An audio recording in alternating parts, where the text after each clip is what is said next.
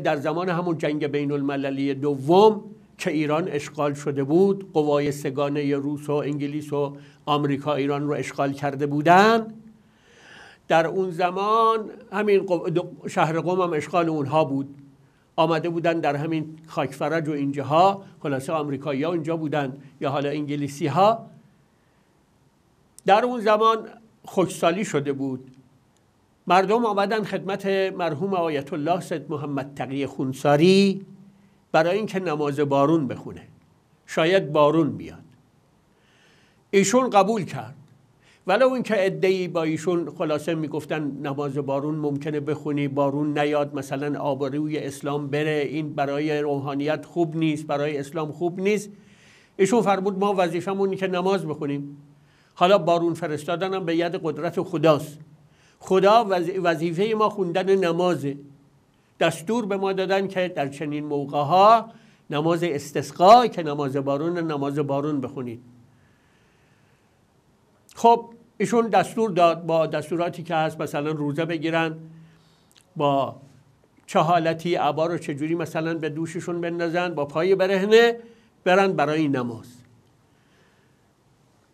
خب اینها آماده شدن جمعیت آماده شدن تو همین رودخونه می آمدن میان نماز در این همین مثلا فرض کنید که خاک فرج اونجاها که این آمریکایی‌ها بودن دیدن جمعیت را افتاده رفتن نشستن پشت تیروارا مثلا فکر کردن که می‌خواد جمعیت به اینا حمله کنه.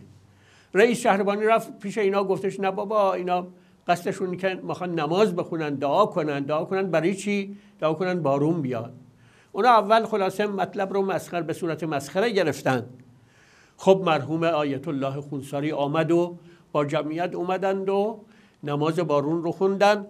افرادی که اونجا حاضر بودند و دیدن گفتن روز اول که نماز خون بارون نیومد. دو مرتبه گفت فردا میام.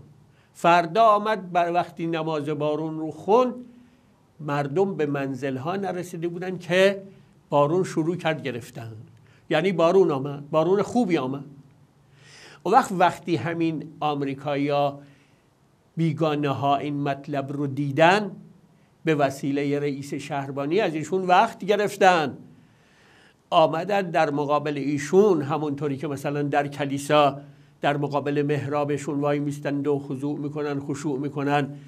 اینها خلاصه در مقابل ایشون زانو زدن گفتن آقا تو مسیح زمانی تو که دعا می‌کنی بارون میاد دعا کن که جنگ تموم بشه ما بریم خونه هامون بریم پیش زن و بچه هامون